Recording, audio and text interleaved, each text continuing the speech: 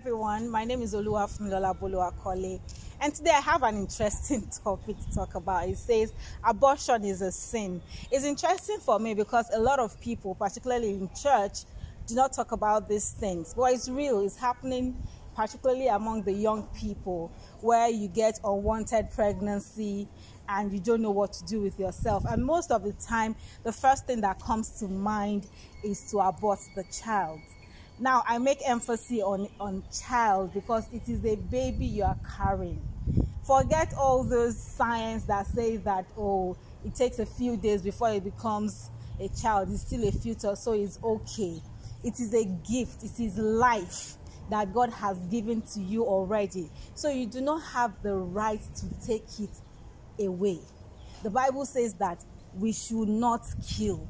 Killing does not have to do with when you take a knife or a gun and stab or, shoot someone. Even when you abort, that is murder. There are different reasons that people give to why they do these things. Oh, I did not plan. Even funny thing is that even in marriage, you hear some married women say, "Ah, if I have a, if I get pregnant now, I'm going to abort it too because I can I, I don't want any more children. And I'm wondering, like, I in fact I had to deliberately ask someone one day, "Are you sure? I mean, you mean that literally, if you have a child, preg- you get pregnant now, you will abort?" And she said, "Yes." I was shocked because she's married, and I'm wondering, you are even blessed that you are in, um, you are married, and you don't want to have the child because it's something that you did not expect. Motherhood is beautiful. We cannot take that away. It's beautiful to be a mother, even when you do not expect it.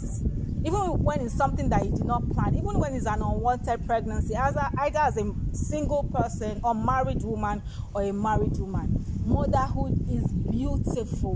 When you hold that child in your hand, there is nothing as beautiful as it in the world to just the first smile from your child's face, the first laugh, the first step that the child takes, the first word that comes out of the child's mouth. There are too many beautiful things that makes motherhood beautiful. I don't think that I will want to miss out on that, even when as an unmarried person I get pregnant. I will keep it.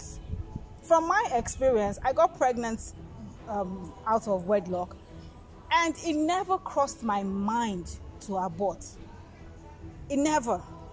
Sometimes, I mean, I mean, there was a random thought that, like, okay, what of abortion? And I'm like, oh, someone asked me in particular, as a matter of fact, a friend of mine asked me, I said, ah, don't you think you should take this thing out, particularly because you're not intending to get married to this person? And I said to myself, you know what? Even apart from God, I love myself enough, too much, to want to abort because I don't want to die before my time. I don't want to lose my womb and all the other dangerous things that could happen if you abort. So please, abortion is a sin. God bless you. Now make sure you attend house fellowship anywhere around you. You can even make your home a house fellowship. All that's blessed. God bless you and bye.